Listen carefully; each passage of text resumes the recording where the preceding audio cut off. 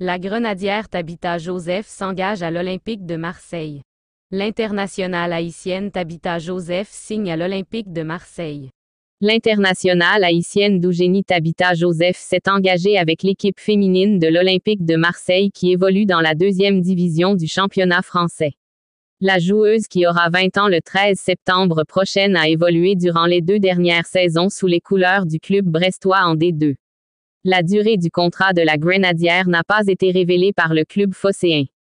C'est un renfort de plus pour la section féminine de l'Olympique de Marseille avec l'arrivée de la défenseur internationale haïtienne, Tabitha Joseph, a révélé l'Olympique de Marseille sur son site Internet.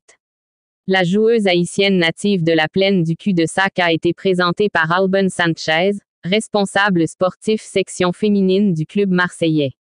L'Olympique de Marseille a aussi vanté les qualités de sa nouvelle recrue. Elle est capable de jouer aussi